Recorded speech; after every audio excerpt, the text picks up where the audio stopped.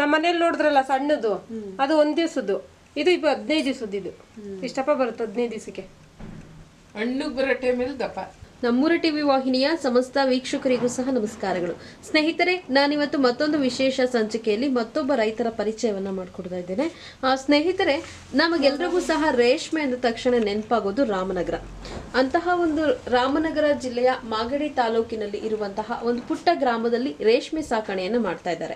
ಹಾಗಾದ್ರೆ ಬನ್ನಿ ಈ ಒಂದು ರೇಷ್ಮೆಯಿಂದ ಆದಾಯ ಎಷ್ಟು ಬರ್ತಿದೆ? ಅದಕ್ಕೆ ಖರ್ಚು ಯಾವ ರೀತಿ ಮಾಡಬೇಕು? ಖರ್ಚು ಮಾಡಿದಾಗ ತಕ್ಕನಾಗಿ ಆದಾಯವನ್ನ ಯಾವ ರೀತಿ ತಗೋಬೇಕು ಅನ್ನೋದ್ರ ಬಗ್ಗೆ ನಾನಿವತ್ತು ನಿಮಗೆ ಚಿಕ್ಕದಾದಂತಹ ಮಾಹಿತಿಯನ್ನ ಕೊಡ್ತಾ ಇದ್ದೇನೆ. ಆ, ಸ್ನೇಹಿತರೆ ನಮ್ಮ ಜೊತೆ ರೈತ ಮಹಿಳೆಯಾದಂತಹ ಸರಸ್ವತಿ ಅವರಿದ್ದಾರೆ. ಬನ್ನಿ ಅವರನ್ನ ಮಾತಾಡ್ಸೋಣ. ಮೇಡಮ್ ನಮಸ್ತೆ. ನಮಸ್ತೆ ಹೇಳಿ. ಮೇಡಮ್ ರೇಷ್ಮೆ ಸಾಕ್ತಾ ಇದ್ದೀರಾ? ಆ, ಈ ಒಂದು ರೇಷ್ಮೆ ಬಗ್ಗೆ ರೇಷ್ಮೆ ಹುಳುಗಳನ್ನ ಯಾವ ರೀತಿ ಸಾಕ್ಬೇಕು ಅನ್ನೋದ್ರ ಬಗ್ಗೆ ಒಂದು ಮಾಹಿತಿ ಕೊಡಿ ಮೇಡಮ್ ನಾವು ಸಣ್ಣದ್ರಲ್ಲಿ ಎಲ್ಡ್ ಜರದ್ದು ಚಾಕಿ ತರ್ತೀವಿ. ತಂದ್ಬಿಟ್ಟು ನಮ್ಮ ತೋಟದಲ್ಲೇ ಬೆಳೆದಿರೋದು ಸೊಪ್ಪು. ಅದನ್ನೇ ಅದೇ ಸೊಪ್ಪನ್ನೇ ಕುಟ್ಕೊಂಡು ನಾವು ಸಾಕಾಣಿಕೆ ಮಾಡ್ತೀವಿ. ಅಂದ್ರೆ ಎಷ್ಟು ಮೊಟ್ಟೆಗಳನ್ನ ತಂದಿ ಇದು ಇಷ್ಟು ಮೊಟ್ಟೆಗೆ ನಾವು ಈಗ ಎರಡೂವರೆ ಸಾವಿರ ರೂಪಾಯಿ ಕೊಟ್ಟು ತಂದಿದ್ದೀವಿ ಇದನ್ನ. ಇದನ್ನ ನಾವು ಚೆನ್ನಾಗಿ ಬೆಳೆದು ಐವತ್ತು ಕೆಜಿ ಗೂಡು ಬೆಳಿತೀವಿ ಇದ್ರ ಮುಂದೆ. ಇದು ಐವತ್ತು ಕೆಜಿ ಗೂಡು ಬೆಳೆದು ಒಂದು ಇಪ್ಪತ್ತೈದು ಸಾವಿರದವರೆಗೂ ಅದೇ ಮಾಡ್ತೀವಿ. ಖರ್ಚು ಎಷ್ಟು ಮಾಡ್ತೀರಾ ಇದಕ್ಕೆ? ಇದಕ್ಕೆ ಖರ್ಚು ಅಂದ್ರೆ ನಾವೇ ನಮ್ಮ ತೋಟದಲ್ಲೇ ಸೊಪ್ಪಾಗಿರೋದ್ರಿಂದ ನಮ್ಗೇನು ಖರ್ಚು ಬರಲ್ಲ. ಬೇರೆ ಕಡೆಯಿಂದ ತಂದು ಮಾಡ್ತೀವಿ ಅಂದ್ರೆ ಐದು ಸಾವಿರ ಹತ್ತು ಸಾವಿರದವರೆಗೂ ಖರ್ಚು ಬರುತ್ತೆ. ಸೊಪ್ಪು ಬೆಳೆಯೋದಕ್ಕೆ ಏನು ಖರ್ಚಿರೋದಿಲ್ಲ? ಸೊಪ್ಪು ಬೆಳೆಯೋದಕ್ಕೆ ಅದೇ ಗೊಬ್ಬರ ನೀರು ಮೇವು ನಾವು ನೋಡ್ಕೋತೀವಿ ಅದ. ಕಟ್ಟಬೇಕಲ್ಲ ನೀರ? ನೀರು ಕಟ್ಟೋದು ಒಂದೆರಡು ಸಾವಿರ ರೂಪಾಯಿ ಗೊಬ್ಬರ ತಂದು ಹಾಕ್ತಿವಿ ಮೇವು ಅದು ಗೊ- ಸೀಮೆ ಗೊಬ್ಬರ ಬರುತ್ತಲ್ಲ ಅದು ತಂದು ಹಾಕ್ತಿವಿ ಎಷ್ಟು ತಿಂಗಳು ಒಂದ್ಸತಿ ಸೊಪ್ಪನ್ನ ಕಟಾವು ಮಾಡ್ತೀರಾ? ನಾಲ್ಕು ತಿಂಗಳಿಗೊಂದ್ಸತಿ ಈ ಮೂರು ತಿಂಗಳು ನಾಲ್ಕು ತಿಂಗಳು. ಒಂದು ಬೆಳೆ ಮಾಡ್ಬೋದು. ಅಂದ್ರೆ ಸೊಪ್ಪು ಜಾಸ್ತಿ ಬಲ್ತ್ ಮೇಲೆ ತಂದ ಹಾ, ಹಾ, ಹಾ. ಎಳೆದಾಗೆ ಇರಬೇಕು ಸೊಪ್ಪು. ಎಳೆದಾಗೆ ಇರಬೇಕು ಸೊಪ್ಪು. ಅದನ್ನ ಒಂದೊಂದು ಜರಕ್ಕೂ ಒಂದೊಂದು ಥರದ ಸೊಪ್ಪು ಕೊಡಬೇಕು. ನಾಲ್ಕು ಜರಕ್ಕೆ ಮೇಲೆ ತುಂಬಾ ಬಲ್ಕೆ ಎದ್ದು ಕೊಡ್ತೀವಿ. ಮೂರ್ ಜರದಲ್ಲಿ ಇವಾಗ ನೋಡಿ ಈ- ಈ ವದದ ಸೊಪ್ಪು ಕೊಡ್ತೀವಿ. ಇನ್ನೂ ಸಣ್ಣ ಹುಳಿಗೆ ಇನ್ನೂ ಎಳೆ ಸೊಪ್ಪು ಕೊಡ್ತೀವಿ. ಆ ರೀತಿ ಮಾಡ್ಕೊಂಡು ಹೋಗ್ಬೇಕು. ಈಗ ಎಷ್ಟು ತಿಂಗಳು ಹದಿನೈದು ದಿವಸ ಆಗಿದೆ. ಹದಿನೈದು ಇದು ಹುಟ್ಟಿ ಹದಿನೈದು ದಿವಸ ಆಗಿದೆ. ಇನ್ನೊಂದು ಹದಿನೈದು ದಿವಸ ಕಳೆದ್ರೆ ರೇಷ್ಮೆ ಒಂದು ಇದು ಹದಿನೈದು ದಿವಸ ಕಳೆದ್ರೆ ಇನ್ನ ಇದು ರೇಷ್ಮೆಗೆ ಬರುತ್ತೆ.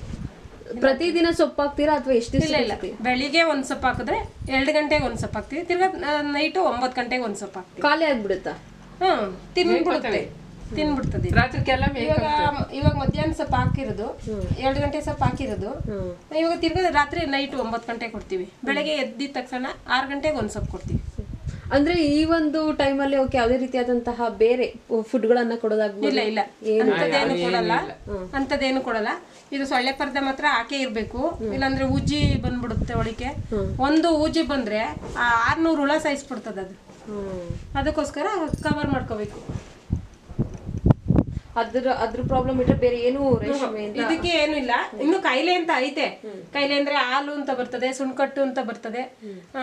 ತೊಂಡೆ ಅದೇ ಸೊಪ್ಪುನು ಹೆಚ್ಚು ಕಮ್ಮಿಯಿಂದನು ಬರ್ತದೆ ಅದು. ಅದನ್ನ ನಾವು ಸುಣ್ಣದ್ದೋಳು ಅಂತ ಬರ್ತದೆ. ಸುಣ್ಣದ್ದೋಳು ನೋಡ್ಕೋಬೇಕು ಹೊಡ್ಕೋಬೇಕು. ಏರ್ ಪೌಡ್ರ್ ಅಂತ ಬರುತ್ತೆ. ಏರ್ ಪೌಡ್ರ್ ನೋಡ್ಕೋಬೇಕು ಯಾವ್ದೇ ರೀತಿ ಮೆಡಿಸಿನ್ ಹಾಕೋದು ಮೆಡಿಸಿನ್ ಅಂದ್ರೆ ಅದೇ ಸುಣ್ಣದ್ದೋಳು ಏರ್ ಪೌಡ್ರ್ ಇಜೇತ ಅಂತ ಬರ್ತದೆ. ಅದನ್ನ ಕೊಟ್ಕೋತೀವಿ ಈ ಹುಳು ಒಂದು ತಿಂಗಳ ನಂತರ ಮತ್ತೆ ನೀವೇ ಮಾರ್ಕೆಟಿಗೆ ನೇರವಾಗಿ ತಗೊಂಡೋಗಿ ಮಾರಾಟ ಮಾಡ್ತೀವಿ ಅಥವಾ? ಇಲ್ಲ ಇಲ್ಲ. ನಾವೇ ನೇರವಾಗಿ ಮಾರ್ಕೆಟಿಗೆ ತಗೊಂಡೋಗಿ ಮಾರಾಟ ಮಾಡ್ತೀವಿ. ಏನ್ ರೈಟ್ ಇರುತ್ತೆ ಒಂದು ಹ್ಮ್, ಅದು ಹೇಳಕ್ಕಾಗಲ್ಲ. ಮುನ್ನೂರು ರೂಪಾಯಿಂದ ಹಿಡಿದು ಎಂಟ್ನೂರು ರೂಪಾಯಿನವರೆಗೂ ರೈಟ್ ಇರುತ್ತೆ. ಅಂದ್ರೆ ಅದು ಯಾವಾಗ್ಲೂ ಸಿಗುತ್ತೆ ಅಂತ ಹೇಳಕ್ಕಾಗಲ್ಲ. ಮಿನಿಮಮ್ ಅಂದ್ರೆ ಮುನ್ನೂರು. ಮುನ್ನೂರು ರೂಪಾಯಿ ಸಿಗುತ್ತೆ ಕೆಜಿಗೆ. ಐನೂರು ಮುನ್ನೂರು. ನಮ್ಗೆ ಇಷ್ಟು ಹುಳ ಸಾಕಾಣಿಕೆ ಮಾಡೋ ಅಷ್ಟೊಳಗೆ ಸೊಪ್ಪು ನಮ್ಮದೇ ಆಗಿರೋದ್ರಿಂದ ನಾವು ಲೆಕ್ಕ ಹಾಕೊಂಡ್ರೆ ಹತ್ತು ಸಾವಿರ ಖರ್ಚು ಬರುತ್ತೆ. ನಮ್ಗೆ ಒಂದು ಇಪ್ಪತ್ತೈದು ಸಾವಿರದವರೆಗೂ ಸಿಗ್ತದೆ. ಅದ್- ಅಂದ್ರೆ ಲಾಭ ಅಂತ ಒಂದು ಇಪ್ಪತ್ತೈದು ಸಾವಿರ ಸಿಗುತ್ತೆ. ಸಿಗುತ್ತೆ. ಲಾಭ ಅಂತ ಇಪ್ಪತ್ತೈದು ಸಾವಿರ ಸಿಗಲ್ಲ ಆ ಟೈಮ್ನಲ್ಲಿ ಹದಿನೈದು ಸಾವಿರ ಸಿಗುತ್ತೆ.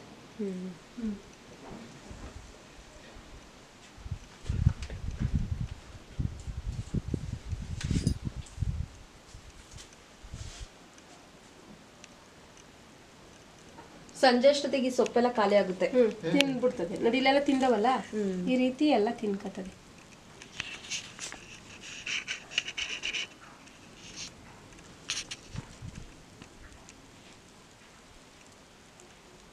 ರೇಷ್ಮೆನ ಯಾರ್ ಬೇಕಾದ್ರೂ ಬೆಳ್ದಿ ಮಾರ್ಬೋ ಮಾಡ್ಬೋದು. ಮಾಡ್ಬೋದು. ಮಾಡ್ಬೋದು. ಅದನ್ನ ಆ, ಮನೆ ಚೆನ್ನಾಗಿರ್ಬೇಕು ತೋಟ ಇರ್ಬೇಕು. ನೀವು ಮಾಡ್ಬೋದು. ಮನೆ ತೋಟ ಎರಡಿದ್ರೆ ಎಲ್ರು ಮಾಡ್ಬೋದು. ಬಿಸಿಲು ಬಿಡೋಗಿಲ್ಲ. ಬಿಸಿಲು ಇವಾಗ ಏನು ಬಿಸಿಲು ಮಡ್ಗಂಗಿಲ್ಲ ಇದ. ಅಣ್ಣ ಆಗುತ್ತಲ್ವಾ?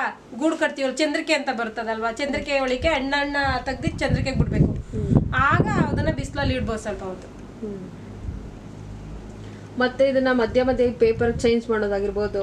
ಮಾಡ್ಬೇಕು. ಇದನ್ನ ಮೂರ್ ದಿನಕ್ಕೆ ಒಂದ್ಸತಿ ಬದಲಾಯಿಸ್ ಇದನ್ನ ತೆಗ್ದಿ ಹಾಸಿಗೆ ತೆಗ್ದಾಕ್ತಾರೆ. ಕೆಲವರು ತೆಗ್ದಾಕ್ತಾರೆ ಕೆಲವರು ತೆಗ್ದಾಕಲ್ಲ. ಎಂಟು ದಿವ್ಸಕ್ಕೆ ಒಂದ್ಸತಿ ಆದ್ರೂ ಇದ್ರ ಹಾಸಿಗೆ ತೆಗ್ದಾಕ್ಬೇಕು. ಅದೇ ಅಂದ್ರೆ ಆ ಟೈಮಲ್ಲಿ ಹುಳಗಳನ್ನ ಪೋಷಕನೇ ಹೇಗ್ ಮಾಡ್ತೀರಾ? ಅವಾಗ ಏನ್ ಮಾಡ್ತೀವಿ? ಇದೆಲ್ಲ ಎತ್ತುತ್ತೀವಿ. ಹಿಂಗೇನೆ. ಹಂಗೆ ಎತ್ತೆತ್ತಿ ಮಿಸ್ಕ್ ಹಾಕ್ತಿವಿ. ಎತ್ತಿ ಬೇರೆ ಕಡೆ ಹಾಕ್ಬಿಡೋದು. ಇವೆಲ್ಲ ಖಾಲಿ ಇದೆಯಲ್ಲ? ಈ ಖಾಲಿ ಇರೋಕೆ ಹಾಕ್ಬಿಡೋದು. ಈ ಕಸ ತೆಗ್ದು ಹಾಕ್ಬಿಡೋದು ತಿರ್ಗಾ ಅದಕ್ಕೇನೆ ಸಿಂಪಲ್ ನಾಚಿಕೆ ಇಟ್ಟು ತಿನ್ಕೊಂಡು ಆಯ್ತವಲ್ಲ? ಅವಾಗೆಲ್ಲ ಬದಲಾಯಿಸ್ಬಿಡೋದು ಇವಕ್ಕೆ ನಾಲ್ಕು ಎಲ್ಲಕ್ಕೂ ಹಾಕೊಂಡ್ಬಿಡೋದು ಇವಕ್ಕೆ ಸೊಪ್ಪು ಹಾಕೋದು ಕುಯ್ಕೊಂಬಂದು ಅಂದ್ರೆ ಅಷ್ಟೊತ್ತಿಗೆ ಇನ್ನೂ ದಪ್ಪ ನಾಲ್ಕು ಇದು ಫುಲ್ ಆಗುತ್ತೆ. ನಾಲ್ಕು ಮೆಕ್ಸು ಫುಲ್ ಆಗುತ್ತೆ. ನೋಡಿದ್ರಲ್ಲ ವೀಕ್ಷಕರೇ ರೇಷ್ಮೆ ಹುಳುಗಳನ್ನ ಯಾವ ರೀತಿ ಸಾಕೋದು ಅಂತ. ಏನು ಜಮೀನ್ ಇದ್ದವರು ಸೊಪ್ಪನ್ನು ಸಹ ಬೆಳೆದು ಅವರೇ ರೇಷ್ಮೆಯನ್ನು ಸಹ ಸಾಕ್ಬೋದು ಅಂತ ಹೇಳ್ತಾ ಇದ್ದಾರೆ. ಸೊಪ್ಪನ್ನೆಲ್ಲ ಕಟ್ ಮಾಡಿ ಈಗ ಹಾಕಿದ್ದೀರಾ? ಅಂದ್ರೆ ಇವತ್ತಿಗೆ ಈ ಸೊಪ್ಪು ಕಾಲಿಗೆ ಅಥವಾ ಅಥವಾ ಸಣ್ಣ ಇನ್ನೂ ಒಂದು ತ್ರೀ ಡೇಸ್ ಆದ್ರೂ ಬೇಕಾಗುತ್ತಾ? ಏನಕ್ಕೆ? ಸೊಪ್ಪು ಈಗ ಕಟ್ ಮಾಡಿರೋಂಥದ್ದು ಒಂದೇ ದಿವಸಕ್ಕೆ ಖಾಲಿ ಇಲ್ಲ ಇದು ಇವಾಗ ಹಾಕಿದ್ರೆ ತಿರ್ಗಾ ಮಾಮೂಲಿ ಸಾಯಂ ಇವಾಗ ಆರು ಗಂಟೆಗೆ ಹಾಕ್ತಿವಿ ಬೆಳಿಗ್ಗೆ. ತಿರ್ಗಾ ಮಧ್ಯಾಹ್ನ ಎರಡು ಗಂಟೆಗೆ ಹಾಕ್ತಿವಿ. ತಿರ್ಗಾ ಸಾಯಂಕಾಲ ಒಂಬತ್ತು ಗಂಟೆಗೆ ಹಾಕ್ತಿವಿ. ಮೂರು ಟೈಮ್ ಮೂರ್ ಟೈಮ್ ಇವಕ್ಕೂ ಮೂರ್ ಟೈಮ್ ಕೊಡ್ಬೇಕು.